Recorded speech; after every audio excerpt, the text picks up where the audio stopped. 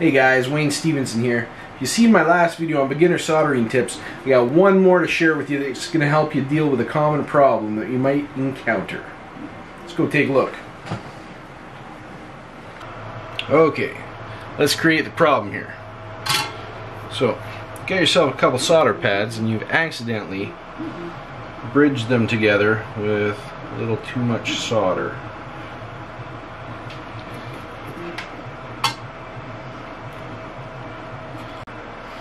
Right there.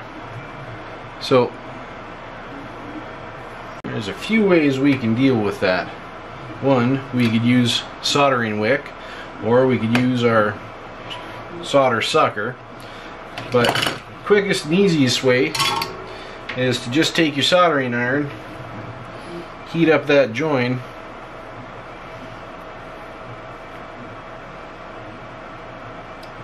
and just drag it off good as new.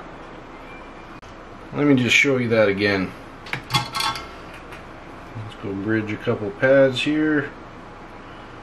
Just like that.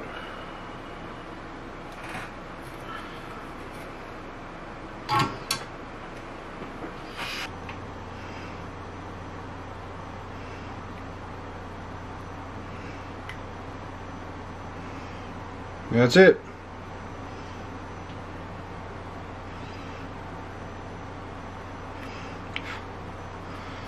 Fact, if you ever have too much solder,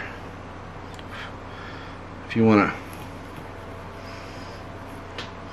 clean up your pads, you wipe out. Let's just turn that temperature up a bit.